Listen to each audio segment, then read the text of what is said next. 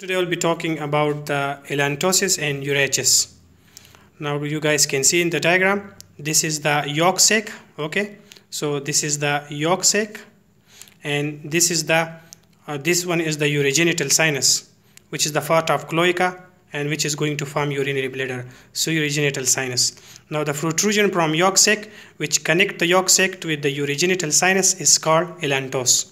So this red one, you can see this is allantois so what does it mean by allantois?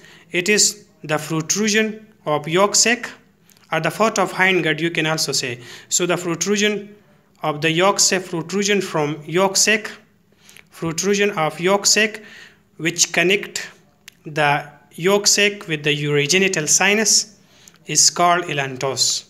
This is called allantois. Okay. So now Later on this allantois is going to form the urachus as the urogenital sinus form the urinary bladder. Let's talk about the urachus. Uh, this one in the diagram you guys can see now. Now this is the yolk sac okay? This is the yolk sac. And now this is the duct okay? This duct is actually the urachus and here this you can see this is the urinary bladder fetal urinary bladder okay? And this urinary bladder this is the now this is the yolk sac so a duct between the yolk sac and urinary bladder is called urachus. The urinary bladder is made from urogenital sinus uh, in fifth to seventh week of gestation. Now let's define it again. What is urachus? It is the duct which is present between the, the fetal urinary bladder and yolk sac. Okay, so this is called urachus.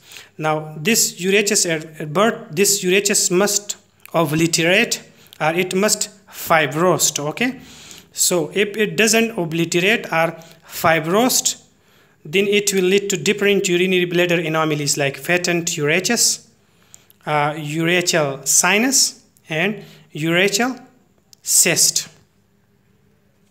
Allantois, urachus, and median umbilical ligament. The allantois give us the median umbilical ligament. How you will remember? In the allantois, there is word AN and in the median there is also word an so this is how you will remember that allantois give us the median umbilical ligament